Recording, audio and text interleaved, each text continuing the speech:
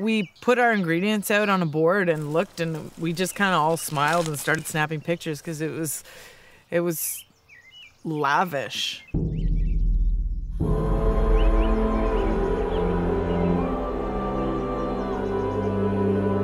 This is doing life. This is feeding the other part of yourself that needs to be fed.